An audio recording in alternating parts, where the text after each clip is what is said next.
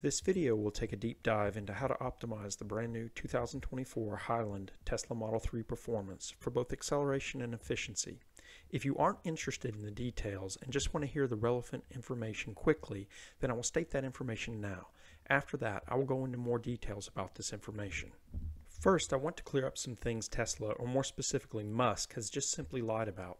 The 2024 cars are absolutely called the Highland Model 3 by Tesla, despite what Musk has claimed. Here's the proof that internally they refer to this car as the Highland Model 3. Also, the 510 horsepower spec is just simply a lie. That isn't remotely close to what the battery or even the wheels produce in this new car. It is way higher than the 510 horsepower spec they give. The car produces close to 615 horsepower at the battery when optimized. More on that later. My best time for 0 to 60 miles per hour was 2.91 seconds without subtracting rollout, or 2.71 seconds with rollout subtracted in the new car. My best 0 to 60 mile per hour with my 100% stock 2022 Tesla Model 3 performance was 3.23 seconds without subtracting rollout, or 3.04 seconds with rollout subtracted.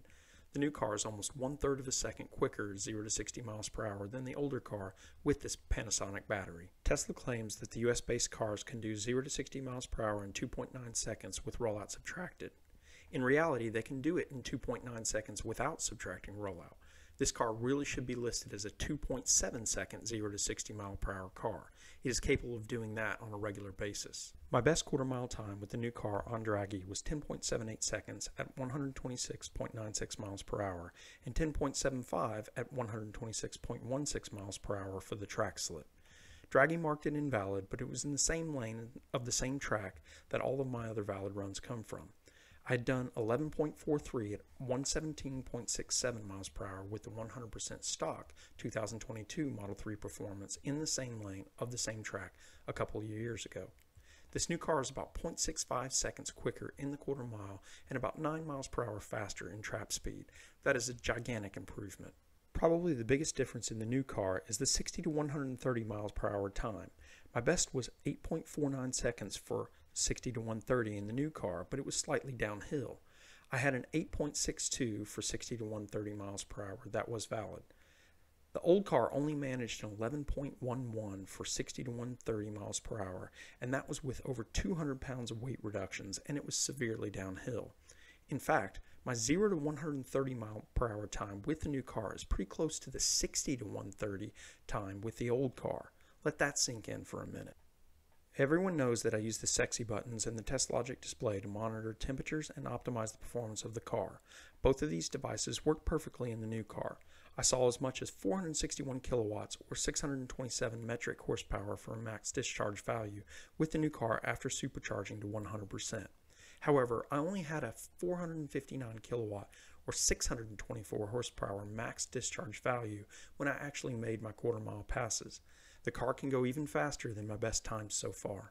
The Teslogic device gives me a rolling dyno horsepower graph for every quarter mile pass I do. This data is actually better than a standard dyno because I get horsepower numbers from zero all the way to my top speed. Dynos typically are not set up to handle large amounts of low speed torque, so you'll often find that they can't go full power with an EV on a dyno till higher speeds. However, the rolling dyno horsepower numbers I get are at the battery, so there are losses in the motors and single speed transmission after the battery.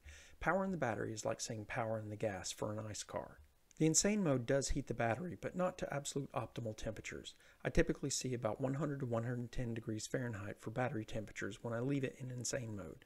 That is much better than the old car that wouldn't heat the battery at all unless you triggered preconditioning. However, you really need to get up to above 120 degrees Fahrenheit for true optimal performance in the new car. I preconditioned for 7 minutes before my first run and had the battery up over 120 degrees Fahrenheit with a full charge. The new car can almost hit the max discharge value in real-time output. I saw 457 kilowatts or 613 US horsepower of real-time battery output with the new car at 47 miles per hour. The old cars with the Panasonic battery would not go above 436 kilowatts or 584 horsepower, and I often would only see about 429 kilowatts or 575 horsepower at about 50 to 55 miles per hour with my old car, even with everything optimized. The new car will sustain max horsepower much longer too. The old car would do max horsepower from about 43 to 57 miles per hour. Then power would drop off quickly after that.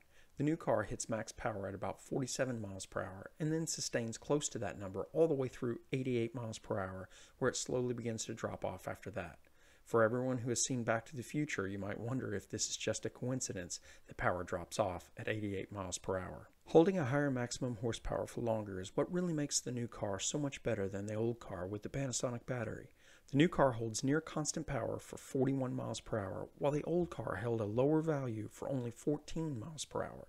In the US, the new car just sustains power for much longer. However, there's some evidence now that the new Model 3 performance cars in the rest of the world are severely limited by their battery.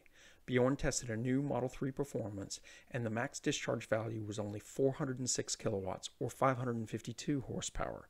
That is way below the previous generation cars. Some tests have shown that it can do the 0 to 100 kilometers per hour sprint in 3.26 seconds without rollout subtracted and 3.10 seconds with rollout subtracted. That meets the 3.1 second spec Tesla claims, but my US based car does 0 to 100 kilometers per hour in 3.05 seconds without rollout subtracted and 2.86 seconds with rollout subtracted. That really is a huge difference. I raced in an 11.0 quarter mile class this last weekend. I actually had to slow the car down considerably just to avoid breaking out or going too fast for the 11.0 class. I ran three consecutive 11.0 passes at less than 70% state of charge, and I had to use track mode to cool the battery down because the announced track temperature was 150 degrees Fahrenheit that day. This car is capable of doing an 11.0 quarter mile all the way down to about 50% state of charge if the battery is warm enough. Without warming the battery, you can easily do an 11.0 quarter mile with less than 70% state of charge. That is much different than the previous Model 3 performance cars. In previous Model 3 performance cars, switching the stock uber heavy wheels for lighter 18 inch wheels made a measurable difference in straight line acceleration. I typically saw at least 0.08 seconds improvement for 0 to 60 miles per hour when using 18 inch wheels that weighed about 10 to 11 pounds less than the stock Uber turbine wheels. The new wheels weighed 48.4 pounds for the front wheels, 235, 35, 20 tires, TPMS sensors, and all of the aero pieces that come on the wheel. The back wheels weighed 49.8 pounds with the 275 30 20 tires, TPMS sensors, and all the aero pieces that come on that wheel. The aero pieces are a little over one pound. My 18 inch T Sportline TS5 wheels with 235 45 18 Hankook Ion Evo AS tires weighed 47.4 pounds. The wheels themselves are about a pound or two lighter than the new 20 inch stock wheels, but my ultra efficient tires weigh about 2 pounds more than the stock Pirelli summer tires. Overall, I couldn't discern a difference in acceleration with 18 inch wheels and all season tires versus the stock 20 inch wheels and summer tires. I don't think the wider rear tires actually helped that much for straight line acceleration. Yes, my all season tires were fighting traction on my quickest passes, but it didn't appear to actually slow me down, even with the all season efficiency compound. A lot of people ask me why I took the staggered 20 inch wheels and summer tires off and switched to the 18 inch square setup with ultra efficient Hankook all season tires.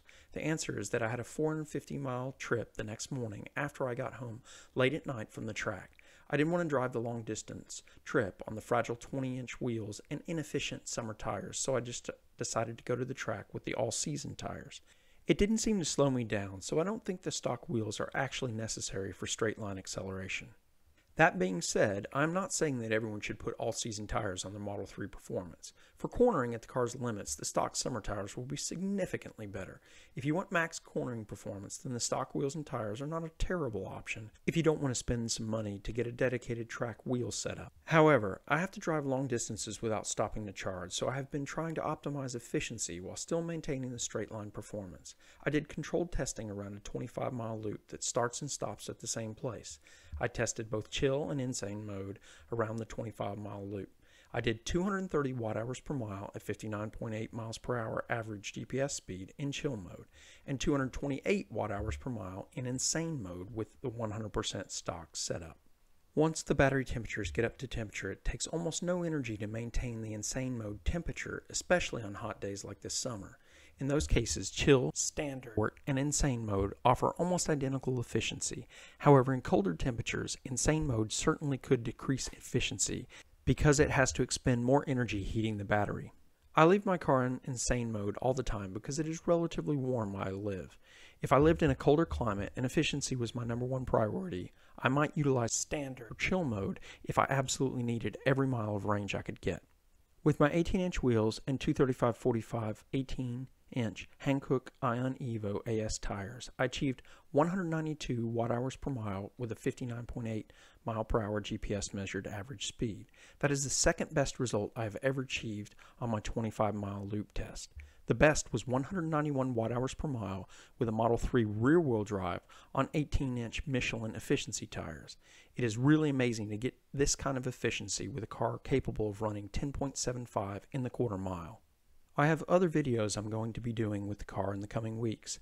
I want to do a range test with it and see if I can go over 350 highway miles without charging.